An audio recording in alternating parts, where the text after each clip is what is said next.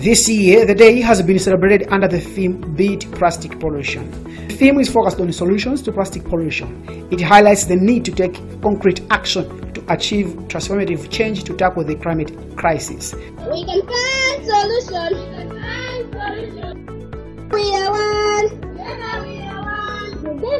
As INNORET, we are encouraging different stakeholders to take part in this campaign. Uh, for instance, we are now working with the different entrepreneurs. We're encouraging entrepreneurs to take part in this uh, campaign. So they have to find something to do with this plastic.